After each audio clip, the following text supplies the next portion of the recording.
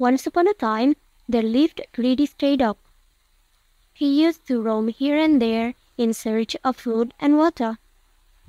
One day, he was very hungry and he decided to search for food on the other side of the bridge outside his house.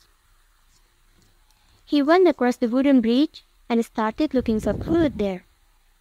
Luckily, he found a big, juicy bone and he held the bone tightly in his mouth so that no other dog could snatch it from him. As he was about to eat the bone, he thought to himself if any of his friends saw him eating there, he might have to share it with them. So, he decided to take the bone back to his home. As he was crossing the stream, he looked into the water and saw another dog holding a bone in his mouth.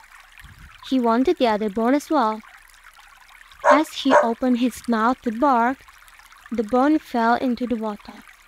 Then he realized it was not another dog in the water, it was his own reflection. He lost the bone because of his greediness and had to go back home hungry.